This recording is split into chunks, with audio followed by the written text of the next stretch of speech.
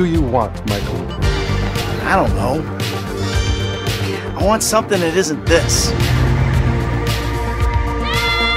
Jimmy called me a bitch! I want to be a good dad, love my family, live the dream.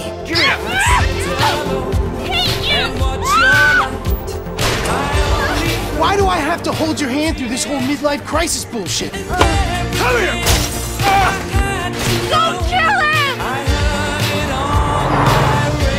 Same time, I really want the other stuff too.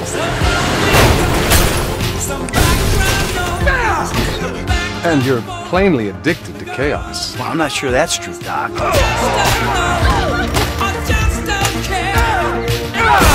I'm rich, I'm miserable. I'm pretty average for this town.